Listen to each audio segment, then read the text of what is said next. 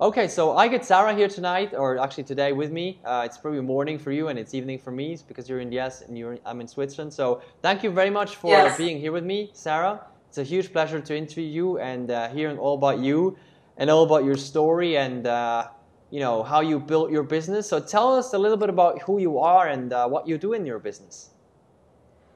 Okay, so my name is, like Daniel said, Sarah Thompson, and my business um, uh, website, I actually have two business websites, so I'm just going to start with the first one, which is Thompson, B-I-Z-solutions.com. And then um, my newer program for smaller businesses is called moremoneymentoring.com. And um, basically what I do in my business is I help other uh, business owners grow their business. That's my main focus. And my background is in corporate finance. And so I learned how to um, do some turnarounds for companies that didn't have a lot of money. And I've been able to apply that to helping people that are early stage, uh, growth stage businesses to grow their businesses exponentially. Um, so not only have I helped my clients grow their businesses in some cases 10 times in less than three years, but I've also done that for my own business. So let me start a little bit at the beginning. It's not really the beginning. It's not my birth story, but let's start with when I really became what I consider a true entrepreneur in that I um, made a commitment that I would never work for somebody again. I made a commitment that I would not have a plan B. I actually stated I will not work for anyone again. And that was like a big thing for me. And actually, some people in my personal life said to me, You can't say that. And if you say to me, You can't say that, I have this sort of rebel without a cause, and I will do it. So as soon as I got that challenge back from the people that were closest to me, I said, Oh, yeah, that's what I'm going to do. And I had to have that mindset before I really truly committed to being an entrepreneur. Prior to that, I had a business and sort of floundered around and did some things that weren't really didn't fit with me. But um, and then I went back to working in the corporate world. I I did that sort of wishy-washy sort of thing, and then I decided there was no way, absolutely no way, that I could work for someone else as having them as an employer and me being an employee. That dynamic did not work for me. That doesn't mean that I can't help people and help clients, right? It just meant I couldn't actually work for somebody. I had to work for myself and have that kind of freedom to design my own thing, right? So I got fired three times in two years. I had no money. I had $80,000 in debt. I um, found myself saying, I can't work for anyone else. I made that commitment. I want to start a business. What the hell am I going to do? I don't know really how to run a business. I don't know anything about it. So I did my default thing, which when I don't know what to do, I go to a bookstore and I walk around and I hope I find a bunch of books that tell me what to do, right? And so I found a couple. One was um, "Thank you for firing me," and you know that helped my mindset of like really being grateful that I got fired three times in two years because I learned through that what I didn't want to do. Right? It told me everything I did not want to do in my life, and so I had to really work on that. And then I had to work on how am I going to start a business and what am I going to do? Oh, so I, I immediately went to the easiest thing, right? What's the easiest way that I can make money? Now, I've been in corporate finance, so the easiest way for me to make money was to do the lowest level finance thing I could think of, right? Because I could get hired doing that in my sleep, which was bookkeeping. It was horrible. I hated it, right? I hadn't done bookkeeping for years. But it was a way that I could easily get, I mean, who's not going to hire me as a bookkeeper? It was easy. So I charged $45 an hour to set up QuickBooks and do bookkeeping. That was my that was my grand business plan, right? And I didn't make any money because I hated it, and I wasn't charging any. I was charging forty five dollars an hour, right? It's so I was like, well, this isn't really going to work, so I better try something else. So I was like, well, what's sort of another level up that I can do to help people? So I, I said, I really don't want to charge by the hour because that's very limiting. So let me try some project work, right? And I sort of floundered with that, like, how do I charge for it so that I don't get screwed, right? You know, that whole fear of like, I'll, you, you quote a project, but then, um, what do they call it? Pro- project creep, what is scope creep or some, some nonsense that you're not going to be able to manage your time within that project and you're going to work all kinds of hours and you're not going to make decent money, right? So I went through all that. I posted one ad on Craigslist, one free ad, saying that I would do business plans, right? Do you need a business plan? I'm here. I had an attorney call me on behalf of a client from another state saying, hey, we need a business plan. So I was like, okay, I'll do the business plan. And I did it pretty affordably. At that time, I think I charged $1,000. And um, that one attorney has referred seven clients to me. Three years later, I now do not do any project work. I only work on retainer. For my high-end clients, actually, all of them are by referral, right? And when I say high-end, I don't mean that they're up here. I just mean that they are beyond a certain level in their business. They're not just starting. They're not. Um, they're not doing all the things that new business owners are doing, right? For business for business plans, everyone that wants a business plan usually is brand brand new, and um, these one-on-one clients that I work with have been in business for one, two, three years, right? They already have some experience. They've already like done their business cards and things like that. They've already sort of thought about their model. They've already tried a few things and failed and tried a few things and succeeded. So those were the clients that I got, and I set a um, retainer uh, model where every month they paid me for my services. And so that was a game changer. And the, the problem that I had with the retainer model originally was this fear that it was going to be like working for someone. That they would then own me in a way that I did not ever want to be owned again, right? And so I had a real resistance to it. Uh, I'd say the first year and a half of business, I, I didn't want to go there because I felt like they would think that I was at their beck and call, that I was very similar to an employee because of that sort of, okay, we're paying this person every month, we need to get some something out of them, right? Some some productivity or some uh, you know, some people think of their employees as like have to squeeze every drop of of value out of your employee, right? And so I thought, well, you know, if doing regular kind of work for someone, how is that going to change the dynamic? If I'm doing project work, that's freedom, right? I can do whatever project I want at any time. I don't have any schedule. I don't have any um, regular commitments, right? Other than that project. So I really had to get over that. Like it, it took me a, some work to like really get over that fear of working for someone again. And this is how I did it. I obviously had a fear of being fired, right? I've been fired three times in two years, so it's like I don't want to get fired again, right?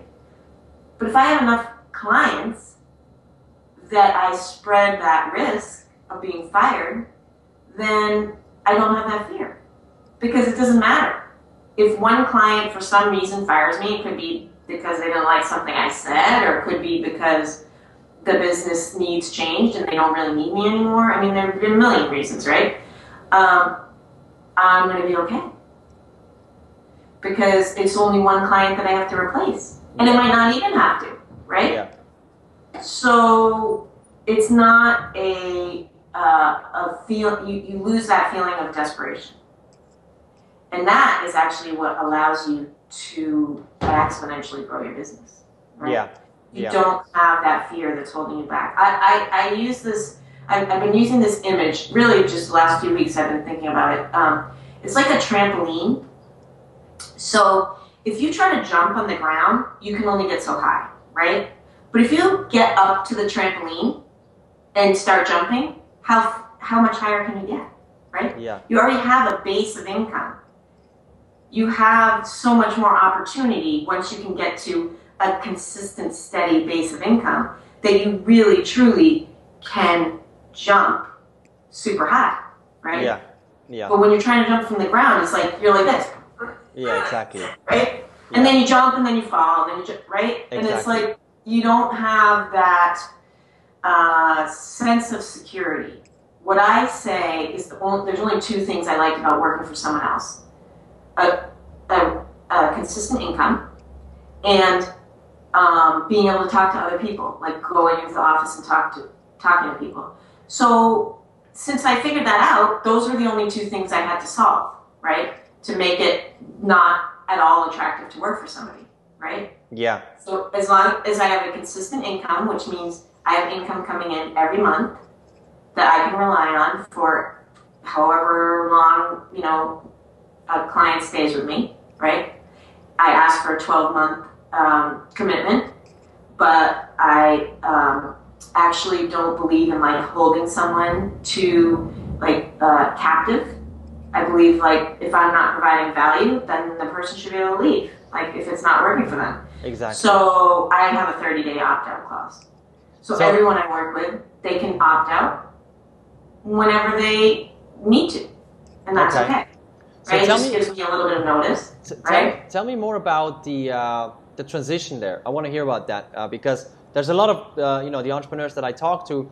Um, you know they made six figures, which is great, um, um, and sometimes even beyond. Sometimes I mean I just talked to somebody yesterday who made, se- who makes seven seven figures, but um, there's one of you know one of their biggest challenges is that their income is unstable. It's not stable. Yes. Uh, you know they may they may make a hundred grand in a month, um, but Yes. then maybe the next month it's zero, and that's not necessarily a rational problem. You know, it's not like they're starving, but it's more of an emotional problem. It's a real challenge Yes. emotionally. So tell me about how you, what did you change in your business to make that transition happen, to move away from the hourly or the project-based work towards the retainer, towards the recurring income. Okay, yeah, that's simple. I offer an unlimited model. hmm So that's it. Um, so the model is I'm on retainer, it's unlimited. Okay. And so I could set the pricing much higher for an unlimited model. Um, and it's counterintuitive, but I can actually um, spend less time on it. Yeah, that's that's an interesting point there that you mentioned because I that's a lot of that's that's something that a lot of people fear as well. It's like when they when they they think about when they offer a retainer and you know just to clarify what a retainer is, a retainer is nothing else than um, offering you know a, a year-long program where people pay on a monthly basis or an unlimited program where people pay on a monthly basis. That's that's the whole idea. And um, a lot of people fear that when they say, well, you can have access whenever you want to me, that they will, you know, the clients will then use this and call them at any given time, you know, at four o'clock in the morning. So Yes. how, first of all, how do you how do you make sure that well, first of all, your clients don't call you at four o'clock in the morning, and second, what's your experience with that transition? And you know, do you feel like it people use that, or how, how, what's your experience with that? Well, you know, you must know the answer, right? I do know the answer, yes, but I want to hear from you. you well we, we agree on this one that you only work with ideal clients right Yes. so the clients that i work with my number one policy for my red velvet rope that you cannot work with me as a client is respect for my time. That's it. It's my number one. So um, all that means is respect for my time. It doesn't mean that i have all kinds of limitations and that i ex- even even that i express those limitations. It just means that when my largest client calls me on a Saturday, they apologize and say, Hey, I'm sorry I'm calling you on a Saturday, but somebody in my family got checked into the hospital, right? Because they need me at that minute. And it's okay that they called me on a Saturday. I'm okay with that. And the only thing is if they don't respect it, right? That's really the only thing that bothers me about it is a lack of respect. It's not actually that somebody's interrupting me. If somebody needs me badly enough to call me on a Saturday, then I'm okay with answering the phone and talking to them. and I have what I call the bat phone, right? So they they these retainer clients that are paying me a significant amount of money every single month for a minimum of a year can call me at any time. And if I can answer the phone, I do. And if I can't, I call them back. That's it. It's simple. They can text me, they can call me, they can get to me, right? This is the, I learned this from from attorneys, right? I remember uh, as a kid, my father had an attorney, and it was like, you know what? You can never get him to even call you back, right? You can't get him on the phone. You can't get him to call you back. And the, and if you have a, attorney on retainer and you can never reach them, you don't want to have that person as your attorney, right? It's like so frustrating. So that was what I did that um, I'd say differentiated my services from a lot of my competitors, right? Because yeah. it's not hard to reach me. Yeah, yeah. And you know, I don't, and, and you know, I don't mind talking to someone on the phone if they have a crisis. Yeah. So, what is that worth to somebody? Like, what what does that give them for security to know that they can call you? Doesn't mean they will, right? And there's and see, this is the thing is somehow magically not all my clients are in crisis at the same time, right? Yeah, yeah.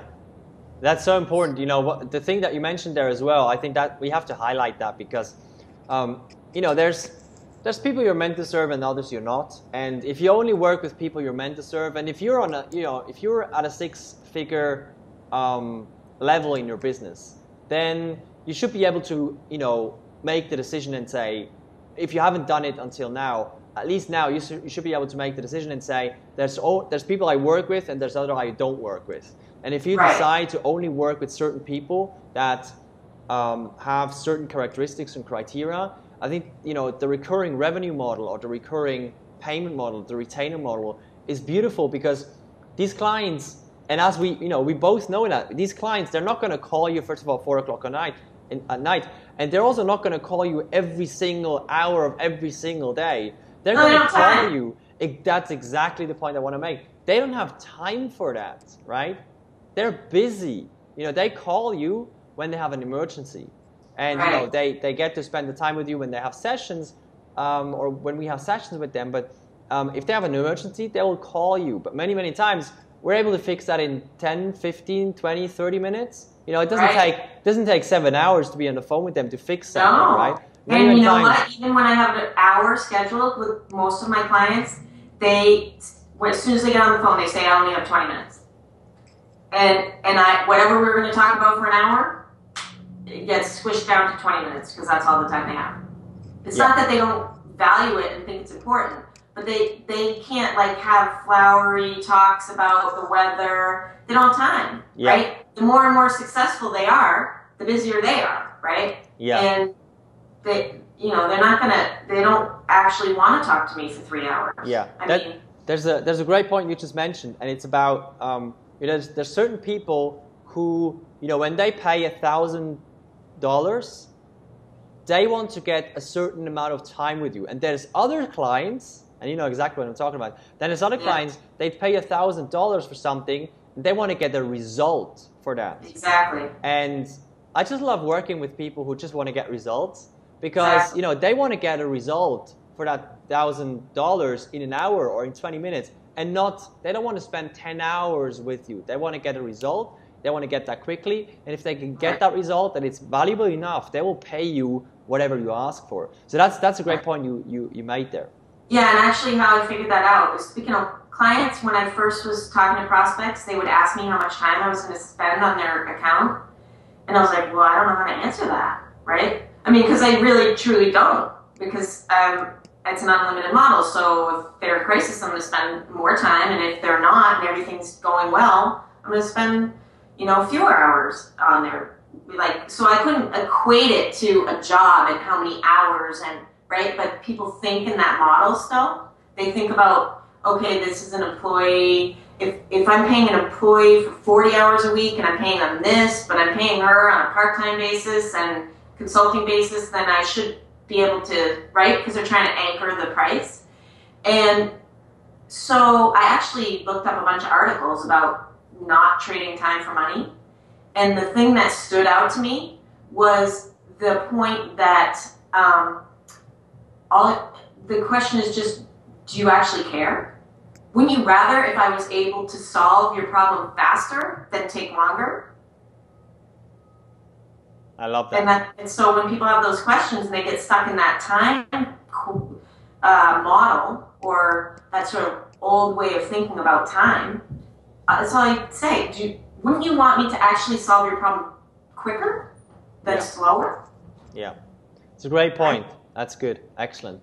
So let's let's move into another topic. Now, over the past one one or two years, you've made you've made incredible. You've had, you have an incredible growth in your business financially as well. You've Right. had an incredible growth period there. Now, Yes. many many times we as entrepreneurs, when we go through such a growth period, there's usually, I mean, at least the people I work with or talk to, there's usually a big challenge when it comes to time and personal freedom and uh, Yes. free time and time with family. Now, tell me about how you've been able to manage everything together that incredible personal, uh, that incredible business growth financially, Mhm. um, and still being able to have that personal freedom. Okay, well, one I, again, this is my this is my tool, right? So I um, live and die by my calendar. I just do, right?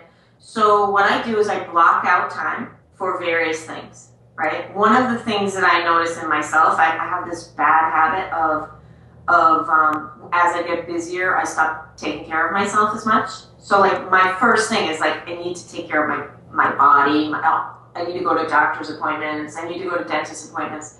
So I actually have I actually have blocked out time in my schedule for personal wellness and and care, right? So that's that's number one because I can't help anyone. I can't help my clients. I can't take care of my kids. I can't do anything if I'm sick, right? So so that's the first thing. So I block that out. And then I block out in, in four hour blocks. I have four hour blocks in my calendar for different things. So then when I'm scheduling, I just schedule within those blocks, right? Yeah. Yeah. So since I have two, essentially I have two programs. I have the one-on-one program, which is called Move Into Your Business, which is where I actually move into your business and work alongside your employees and help manage them f- with you from a financial perspective. And there, and, and then I have the, um, my newer program, which is for smaller businesses, More Money Mentoring, and I have time in my schedule blocked out for that. Okay. Okay. And and then I have business development time because I can't have a business growing with no business development. Yeah. And and there's things I had to learn along the way. Like I started working in my bedroom. I didn't even have an office, right? I was literally doing my business on um, on my bed, uh, on my lap with my laptop, right? And then I was like, this is insane. I need an office. I cannot be in my home and, and get work done. I just couldn't. And and I have a two year old, so you know, forget it, right? I had to be able to solve that problem and find an office outside of my home.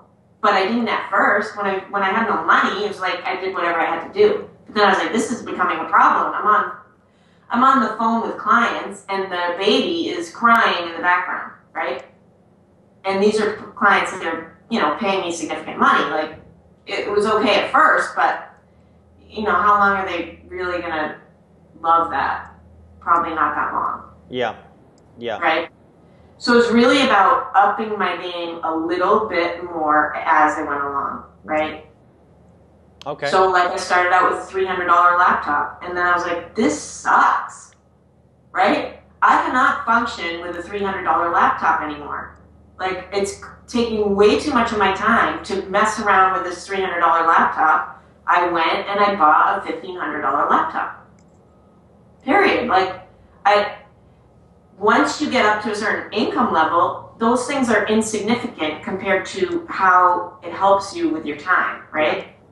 Yeah. So I just don't I just don't like guilt trip myself about spending money. But I will say the other thing is that I got my personal finances together. Mm. Right? I'm a finance person, but my personal finances were an absolute disaster. I owed eighty thousand dollars, right? I had zero money in the bank. Zero, right? So I spent three years paying off debt. I live in a tiny apartment. I have now saved up money for, for a down payment on a home.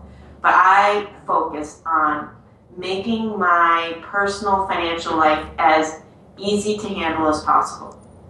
Okay. So that my fear was that my income would grow and then I'd just spend it all, right? Mm-hmm. Like I would still be worried about money because I spent every extra penny I made, I'd spend, Yeah. right?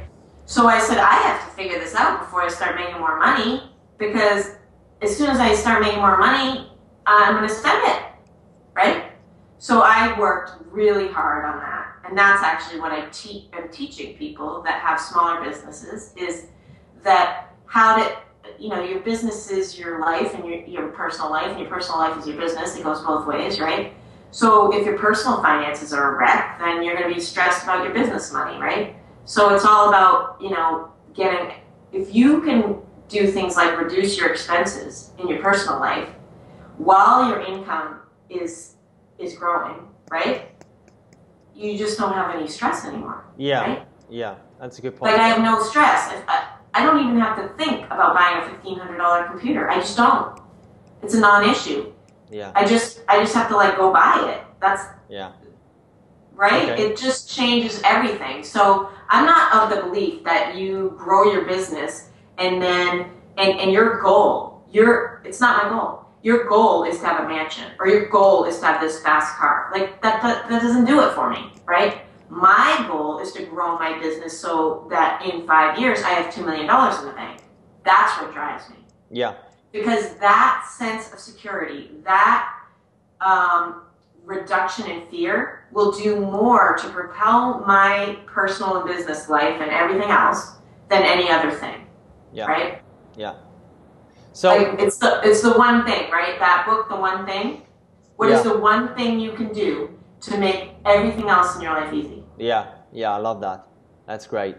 So there's basically two main things that you mentioned regarding personal freedom. The first one was to make sure you schedule things in your calendar and they're sacred.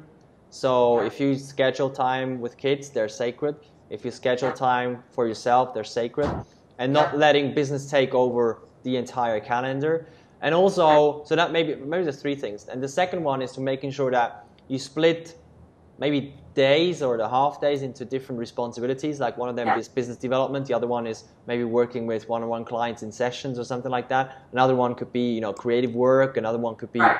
sort of things like that. appointments, like doctor's Appointments, right? exactly, exactly. What I love about your your Fridays as well is that I always get your updates on Friday morning because you say. Uh, um, you know, every almost every Friday now I see it. You know, you stop Yeah. working at nine, 9 a.m. or something like that. Yeah, exactly. I love that. I love I, my goal is to be done, actually 100% done work, and do my Friday update, you know, of what I did that week by noon. Sometimes it goes to one. Like I'm not like overly strict with myself, but every other week I have a full one and a half hour massage scheduled for Friday at that. 1.30 That's great. right? So I have to leave that day. Every other week, I'm out of the office by noon. I have to be, right? Yeah, yeah, Because once I have something like that, I'm, I'm like one of these people that's, I don't cancel appointments. I just don't, right? It's rare. I have to be like in the hospital to cancel an appointment. I mean, I had just given birth to my daughter, and somebody called me, a client called me, and I picked up the phone. Like, I just, I live by appointments. That's how I function. I need that um, predictability. I mean, I was in corporate finance. Everything's on a schedule, right? So yeah, it, it makes sense that Yeah. like that's how I function. When I first was self-employed, I was like, "What the hell do I do with my time? Oh my god, I have all this time, right?" I, I, I was like, I don't know, wandering around the house, and like it was crazy, right? But I realized that having that really, I wouldn't say rigid because I'm not that rigid about my schedule. Like I will sometimes have something that has to happen, and it eats into another part of my time. That's okay. Yeah, Like I don't I don't stress out about it, but because it's a block in my calendar and it's like color coded block, then I see, oh, you know what, when I'm scheduling this appointment for my dentist, I have Wednesday and Friday afternoons, that's it. Those are the Yeah. two times I schedule all my appointments. yeah. I, love And- that. That's great. Um, you know, it's just, just about having these appointments, and you know, they don't have to be appointments, but it's I think it's more about having something scheduled in your calendar and not move it, even if it's just you know, an eight-hour block of business development or whatever. Right.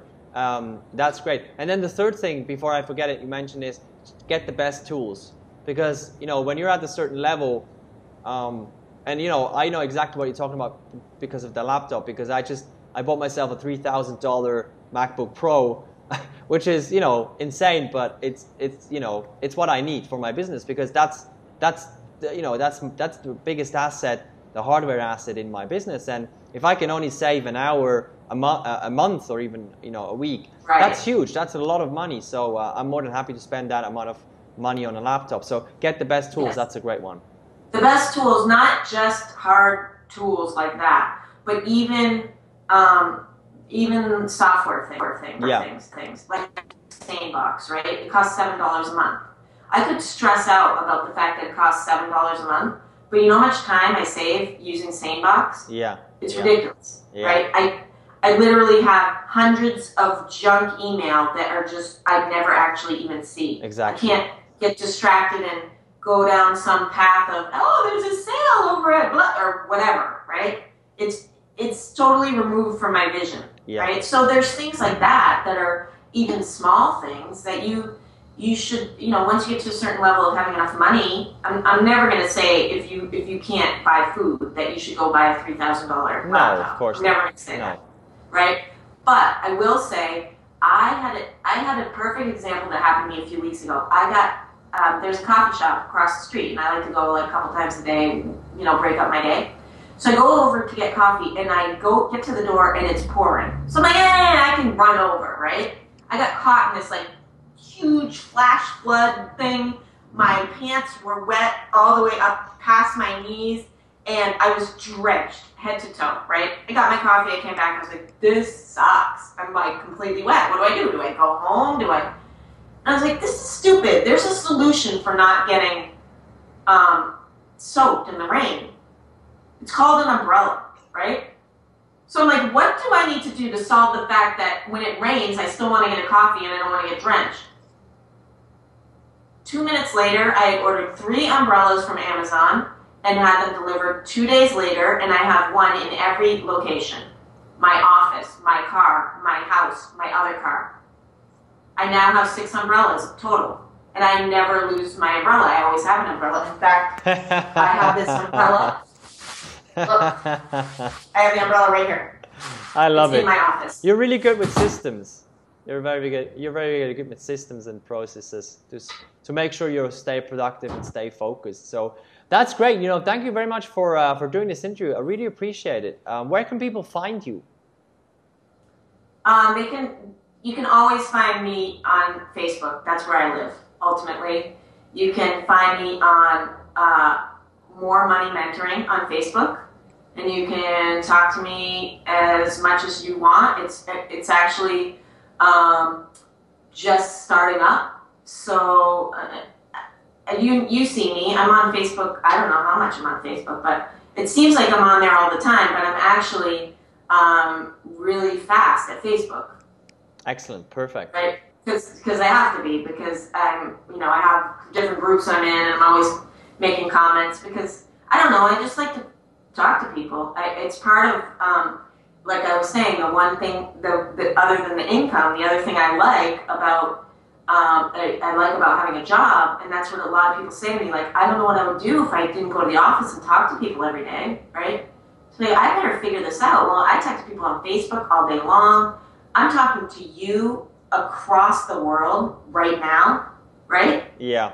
Like I I I actually decided that I needed to talk to somebody virtually, have a lunch or have some kind of interview or something three times a week. I have to do it, Yeah. That's right? great. I love. Otherwise, that. I'd just in my office by myself, Yeah. right? Yeah. That's another great so point you that's make there. actually that's actually in my schedule, Okay. right? Because I don't want to be like this person that is behind my computer or ruling the world and not actually talking to anyone. Yeah. Like, So true. How fun is that? It's, I mean, some people like that. I, I'm not gonna. I'm not gonna cut it down. But for me, you can tell. I could talk. I, I could I could have this interview go for 15 hours, right? I like to talk, so I just Yeah. work it into my life.